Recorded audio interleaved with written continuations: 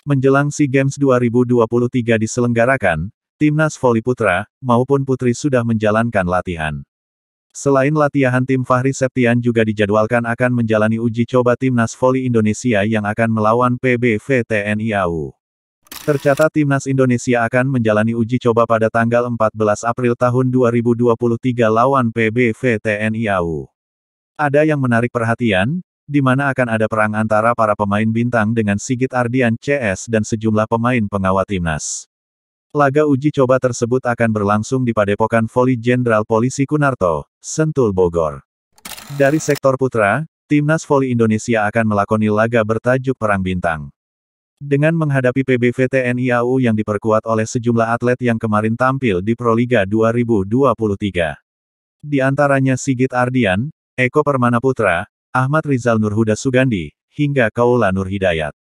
Sebagai catatan saja, baik Sigit Ardian dan Eko Permana Putra merupakan dua pevoli senior yang pernah membela timnas Indonesia di event internasional seperti SEA Games.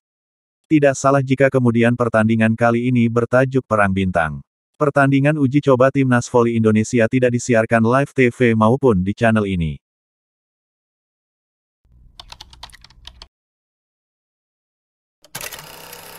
Komite Penyelenggara SEA Games 2023 CAMSOC, sepakat untuk menggelar pengundian ulang untuk cabang olahraga cabur bola voli putra. Pengundian grup cabur bola voli putra SEA Games 2023 sejatinya telah digelar pada Rabu, tanggal 5 April tahun 2023. Polemik kemudian muncul ketika Filipina yang merupakan langganan SEA Games, tidak masuk dalam daftar peserta. Padahal, Federasi Bola Voli Nasional Filipina PNVF, menegaskan tim putra mereka ikut juga berpartisipasi.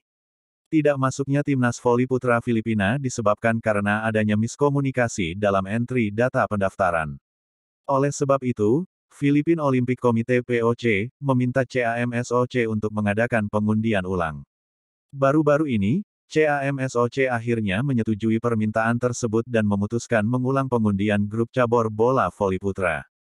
Presiden PNVF, Ramon Tats Susara, memuji POC karena mampu membujuk CAMSOC untuk mengatur ulang pengundian tersebut. CAMSOC setuju untuk melakukan undian ulang setelah syarat persetujuan dari lima tim peserta terpenuhi. Negara-negara lain sepenuhnya mendukung kami, kata Susara. Kalau sudah ada undian, tinggal undian ulang. Jika tidak, jika ada grup dengan tim yang lebih sedikit, POC dapat bergabung, tambahnya. Kendati demikian, tanggal pengundian ulang belum diumumkan oleh CAMSOC.